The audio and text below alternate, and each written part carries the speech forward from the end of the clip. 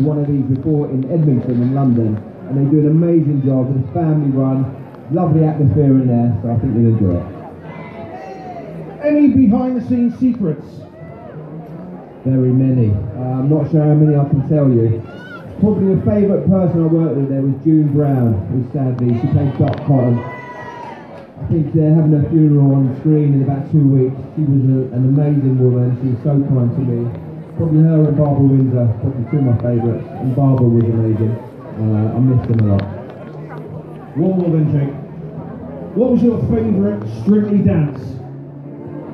What do you reckon? Does anyone remember me on Strictly? I'm not sure. Snake hips. you remember snake hips? I'd have to say it was the uh, salsa. Salsa with little Janette when I was kicking her head about. Um, yeah, I used to love throwing her about. She's very small, very light. So it was very good. I enjoyed that. Thank you very much. Ladies and gents, put your hands together for Mr. Jake Wood. Thank you guys. Thanks for your support. If you want any photos, come up and uh, listen. I'm here for a while, so uh, I'm doing signings. I'll have a selfie with you, whatever. And uh, lovely to be here in Worcester. Thanks for your support and uh, have a Merry Christmas, everyone. Nice and warm. Have a game of bingo on the slots.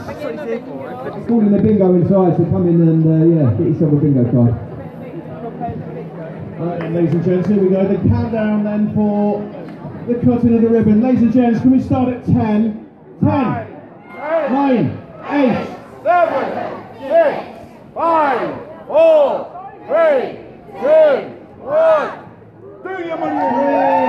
Ladies and gents, Shipley's is now officially open. Get yourselves